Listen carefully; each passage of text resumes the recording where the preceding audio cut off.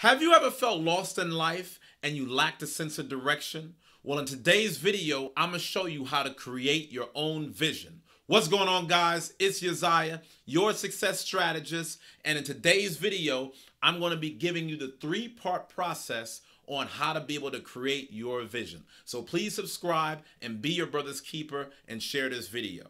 So, the first thing that you got to be able to do if you're trying to be able to create your own vision is to begin with the end in mind.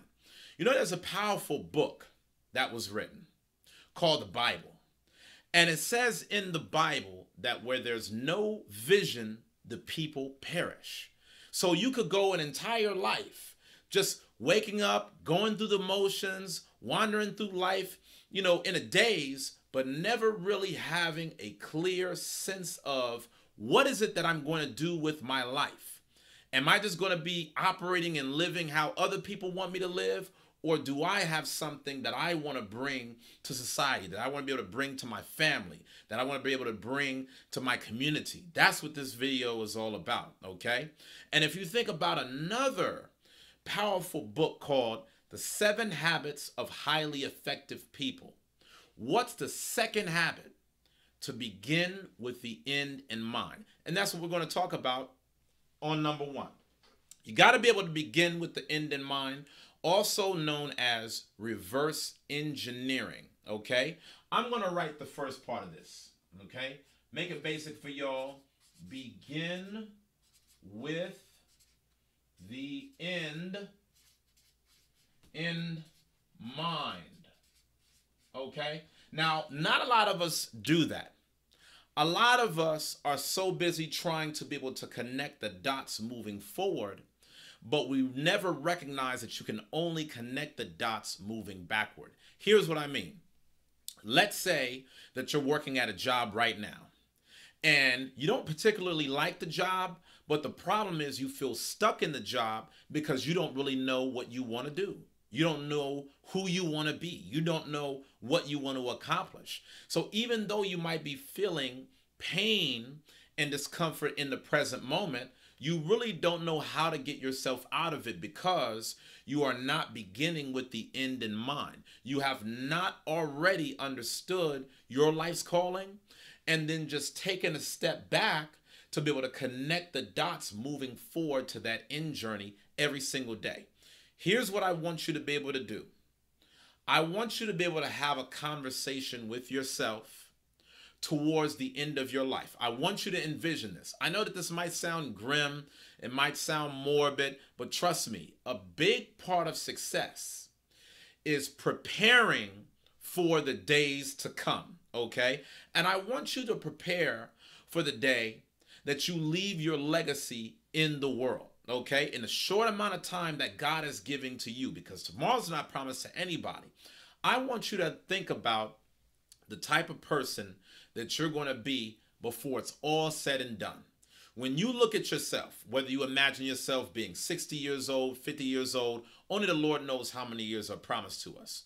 Whenever your last day is on this earth, what will you want to have said that you accomplished in this life? Who do you want to be around in terms of your family? What accomplishments do you want to have in terms of goals and things like that? I want you to begin with the end in mind because in you not doing this in the present, you're wasting a lot of time.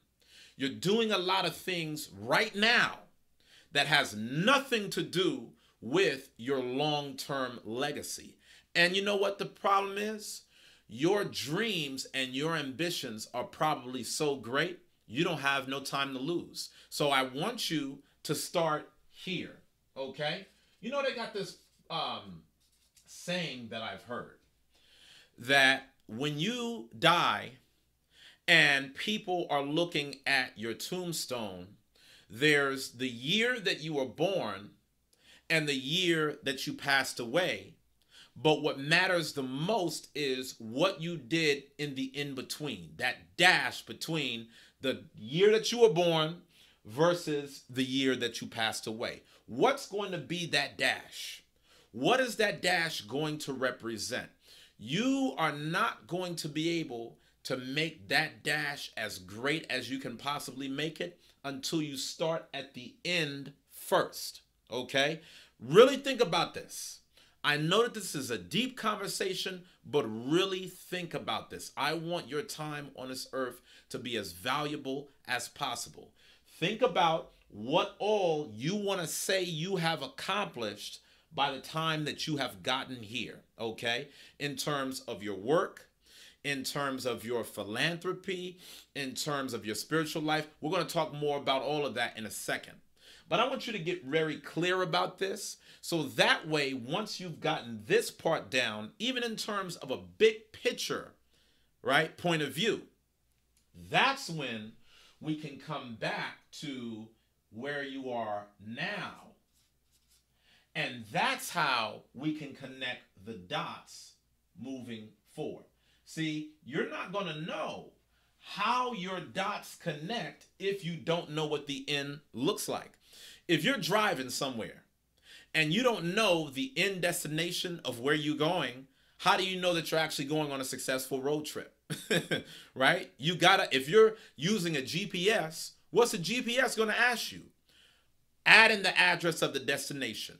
Put the destination first. Because before they can even give you directions on how to get there, they got to know where you're going, right? The same thing applies to your life. Give your life a sense of GPS. Put in your end destination. And then from there, that's when God can give you the wisdom and the knowledge on how to be able to connect those dots moving forward to be able to order your steps. Your job is to think about the end first and then begin working in the now to be able to get to that point. Because really, all you have is the now. You don't have tomorrow, you don't have any other day. All you have is the power of right now to help get you to the end. Because guess what? Even if you make it till tomorrow, once you get to tomorrow, that will be your right now, right? So always think about how to work right now to secure this future. Here's the second thing that I want to tell you. In order for you to be able to have a vision, you need to take some time to review and develop your goals. Okay. So, right now, in this video that I'm giving to you all for free, I want to be able to take some time to break down the seven major goal areas. What are the seven major goal areas? Let's start with this one. Okay? Let's take notes on this. Review and develop goals. Goals are very important. Remember what I said again where there's no vision, the people perish.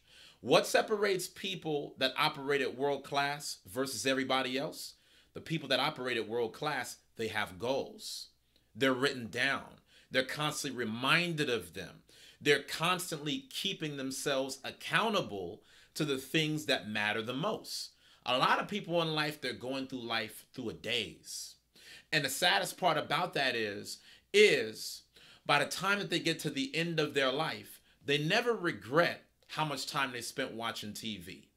They never regret how much time they spent, you know, uh, man, I didn't spend enough hours watching the latest episode of Game of Thrones. Man, I didn't spend enough hours, you know, checking my news feed on Facebook. Nobody says that on their dying day. You know what they say? Man, you know what I wish I would have done? I wish I would have did this for my family. I wish I would have did this for my loved ones. I wish I would have been able to give this to my community. I wish I would have spent my time and my days building this. We will think and remember at the end of our lives the goals that we set out for ourselves and how accomplished we were at reaching those goals. And so I want to give you the seven primary areas, okay? Number one, spiritual goals, okay? What does it profit a man to gain the whole world and lose his own soul?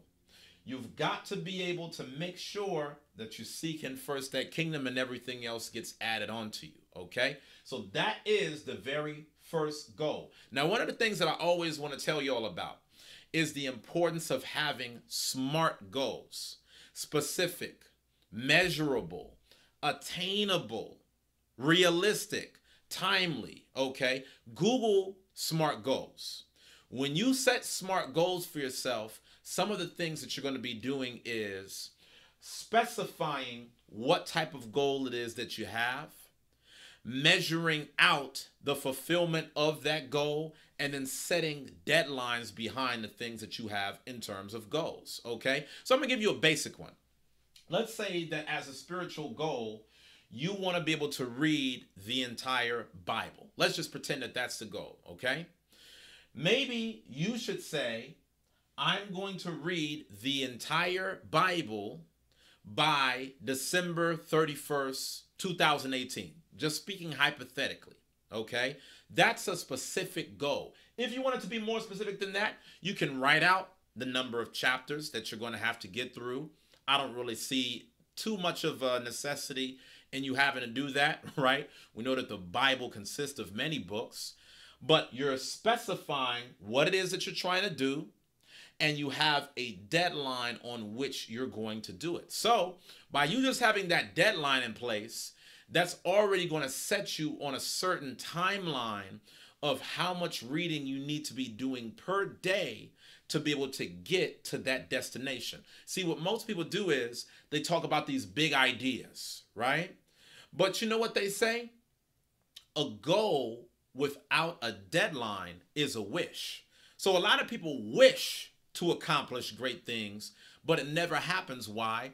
Because they don't put dates down on paper and then hold themselves to it. Okay. So the first goal that you have is spiritual. Now, like I said, this could be many different goals. You could have goals in terms of how much money you want to be able to give, you know, to your church foundation, a lot of different things. I'm just opening up the floor by saying you can have your first goal as a spiritual goal. Number two, have physical goals, right? Because one of the things that God gave you when He created you on the earth is a body, right? A body to be able to get things done. And so your health is your wealth. What did Steve Jobs say before he passed away? He said, You don't want to be the richest person in the graveyard. So you could amass all types of wealth, make all types of money, and be living the life while you got it. But what sense is it to be able to amass all this wealth but you won't even be able to enjoy it because you're six feet under, right? Some of the richest people in the world have not been able to buy their way out of the grave. So you got to have physical goals. Your physical goals may be dietary, right? You're going to be able to improve your diet. Maybe you might decide that you want to lose weight. You might have a smart goal that says, I want to be able to lose 20 pounds by such and such date. Maybe you want to put on some pounds. Maybe you want to gain some muscle. Have physical goals for yourself, okay? You might have a goal of going to the gym a certain number of times a week. Maybe the gym's not your thing. You want to go walking, you want to do CrossFit. I'm just trying to open your mind up to the broad world that is here. It's up to you to decide how you're going to be able to spend your day and to spend your life, okay? Number three, financial you know, ever heard that saying, cash rules everything around me? There's a lot of different sayings about this. But the simple truth is, most of the things that we need to be able to get out of life requires money. If you're going to be living in a house, that requires money. If you're going to have food on your table, that requires money. So, what are your financial goals? Now, typically the people that are able to do the most for their family, their community, themselves are people that have the money to be able to do that because money gives you options. It's not just about just counting money and just being some little greedy monger of dollars that you're just hoarding in your basement like Pablo Escobar. It's about being able to have the options to give yourself and your family a better way of life. It get it's a means to an end, okay? So have certain financial goals for yourself. Maybe you have a financial goal of getting out of debt. Maybe you have a financial goal of saving money. Maybe you have a financial goal of finally start to invest in your children's college fund. Whatever the case may be, set financial goals. Okay. The next thing that you need to have, second or coupled with that, are career goals, right? I like this in a specific order because of the fact that you really cannot make a sound career decision until you have first identified how that's going to play in tandem with your finances. Now, I want to say something very clear here because I could be opening up a dangerous door in what I just said. I'm not telling you that your career should be driven by the money because there's a lot of people that are very miserable on the strength of that rationale and behavior. Okay. All I'm trying to get you to understand is that if you have certain financial goals that you desire to have, you have to know how to be able to structure your career in order to be able to gain those finances. I'm to give you a prime example of myself. You know, I was working in corporate America for a number of years and I was making pretty good money. But one of the realizations that I had was that I was never going to be paid what I was worth in the position that I was in. I was never going to get fully rewarded for every gift that God had given to me out of that job. So, understanding that I wasn't going to get what I was worth financially that dictated the path of how I was going to go about shifting my career. And as part of the reason why I became my own business owner. So that way I could go out and get my real worth financially. Okay. So the two of these things are very important because you got to be able to balance out how the two work together. Some people, they have all the financial goals in the world, but they have no idea on how to choose a career to be able to make the money. Some people have a career mapped out, but they're not being realistic about how that career is going to put food or the lack of it on the table, right? Some people go to college and you get a career in underwater basket weaving. Then you get out of college and you got hundreds of thousands of dollars in debt. And then you're mad at the system all because of the fact that you're not having a job that's being able to pay you buku dollars. Well, if you would have taken more time to be able to balance your financial goals with your career, chances are you could have came to that conclusion before you racked up all of that debt. But it's never too late to be able to get this in order. Even if you went to college and you didn't know all of this growing up. I didn't know all of this growing up. It's never too late. Never say never. Now is a time for you to learn it and you can start modifying your behavior. Just because you went to college for something, it doesn't mean it has to be your lifelong career. But going back to career goals now, you need to understand what type of career do you want to have. Over 80% of people in America today hate what they do for a living. And this is one of the biggest tragedies in first world countries all because of the fact that you spend the majority of your adult life working at a job. So, if you're going to spend the majority of your life at work, you might as well do something that leaves you fulfilled. Set a career goal that leaves you fulfilled. Take something that's based upon your natural strengths. Take something where you can dominate. Take something where you can be great. Don't just disregard today's video always bounce from one job to the next, not really have goals, not really have a purpose, not really have a dream, and you just allow life to bounce you around from one dead end position to the next. You should not do that. Okay? Now, what's the next thing that I want to touch on? The next thing that I want to touch on, and this is in no particular order, so I want you to also keep that in mind as well. Maybe your structuring of these goals are different than mine. Okay. So just take however you want to be able to take it and work with it to make the most of your life. The next one that I'm going to write here are family goals. Okay. This is very important. You got to be able to have family goals. You know, I know a lot of brothers that work every single day, but they never take their families on vacation. And sometimes it's no fault of their own. They're working hard to make ends meet. But I want you to understand something very important. If you don't set goals in your life, don't expect the benefits of life to happen to you by magic. Everything that you accomplish in this life has to be well woven into your plans, right? So nobody just gets to the top by accident. Somebody had to operate off of a well woven plan. Nobody has, you know, a great relationship by accident. That was something that required a lot of commitment woven into their day to day lifestyle. So, if you want to be able to have a great family and you want to be able to do great things for your kids, for your spouse, for your loved ones, for future generations that you might not even live to see, you got to start having family goals in place. Why is all of this important, even if you don't have a family right now? Because you don't wait until it starts raining for you to be outside and then want to go back home to get a coat, right? If you know that it's going to rain, you want to keep an umbrella just to keep yourself protected.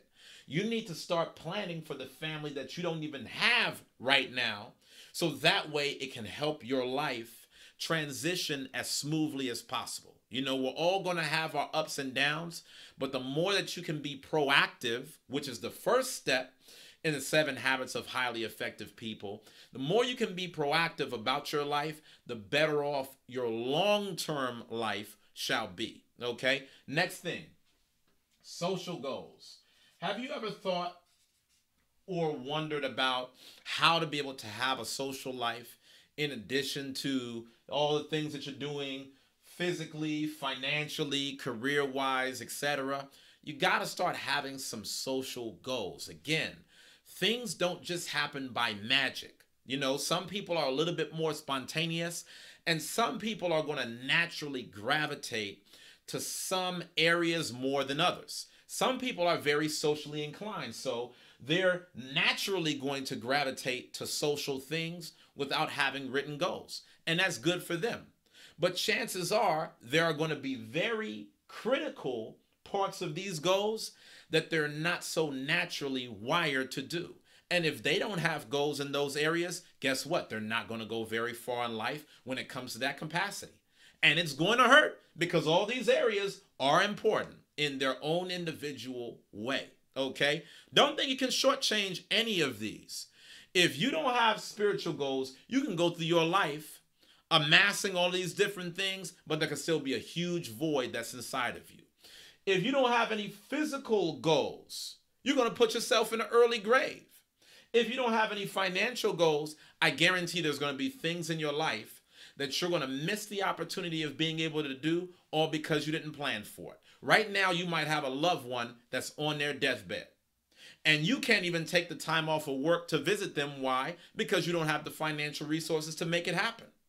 You might have a loved one that you might want to take out of certain miseries that they have. Buy your family member a house. Take a family member on a vacation, but you can't do it for free. What about your career? You're going to spend the majority of your life operating in your career. So if you want to have a good life, you need to have a career that actually fulfills you, okay? Rather than you just trying to make a living and just get by.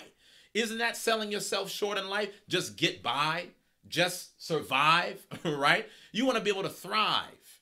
Family goals. Family is important to many people, right? You can have all the money in the world, but if you don't have any relationships, you're still going to feel pretty unhappy in life. I know millionaires and billionaires, they got all the money in the world, but guess what? They don't have those relationships, and a part of them is unhappy because of which. All of us at some deep emotional level want to be loved, and we want to be able to have someone that we can build something with on some level. Okay? Next, social goals. Again, what good is it just for you to do all this and be a hermit, be a recluse, be a loner, right? Be a lame. You need to be able to have social goals. Okay? And lastly, I'll put on here intelligence. If you are going to accomplish anything in your life, you're going to have to learn something. Okay? Nobody just pops out of the womb and then instantly they know everything that they need to know to be spiritually on point, physically on point, financially on point, etc. anything that you're going to accomplish in your life requires learning. All successful people are lifelong learners. So you got to set some intelligence goals for yourself. What's one of the things that I like to do as an intelligence goal? Read a book a week. Why do I do that? Because the average CEO in America reads a book a week. So if I'm going to be a competitive business owner that wants to be able to do better for my family and my people, I got to learn how the game is played in order to grow my business. We damn sure didn't learn it in school. We damn sure didn't learn it from our boys up and down the block that didn't know nothing about how to start a business. So where do you think that you're going to learn it from? Are you just going to be able to snap your fingers and a magic genie is going to teach you how to be the next Bill Gates? No, it doesn't work like that. You got to put in the time to learn, okay? So set your intelligence goals. Now, the last thing that I'm going to tell you in this video, there's a million different things that I could go over. I'm trying to keep this fundamental in today's video, all right? You need to be able to develop a vision board. Set up a vision board for yourself. Why is a vision board important? Because we are a visual people. Okay? I'm going to say that again. We're a visual people. Why do you think that all these social media platforms are largely based around videos and pictures? Because we like to look at images more than we like to look at text, okay? So when it comes to the things that you desire out of life and you're looking for that extra motivation, create your vision board. Because guess what? There's gonna be times that you have goals and you're gonna be burnt out. There's gonna be times where you're gonna strive for things in life and you're gonna get rejected. You're gonna get turned down. You're gonna have failures and you're gonna have setbacks. And it's gonna be very hard for you in those moments for you to muster up the energy to keep going. But that's the reason why you got to be able to have a vision board next to you to keep yourself reminded of why you're going to do what you're going to do. I'm going to give you a quick example. You know, Arnold Schwarzenegger, he became pretty much the top bodybuilder ever known to man, right? He won multiple Mr. Olympia championships. And even though you might say, oh, well, steroids, oh, well, you know, I know brothers that are more diesel than that, just stick with me here. Don't lose the point. All right? Don't strain at a gnat.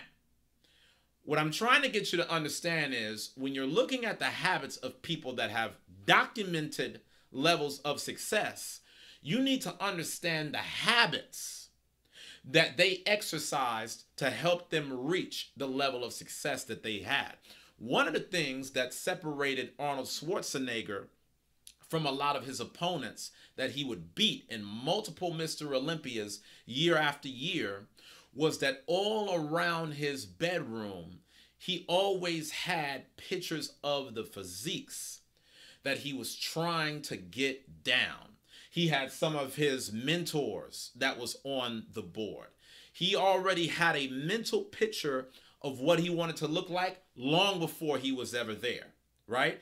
And if you want to accomplish anything in your life, you got to see yourself being in the position long before you're actually in the position. You know how they have a saying, as a man thinketh in his heart, so is he.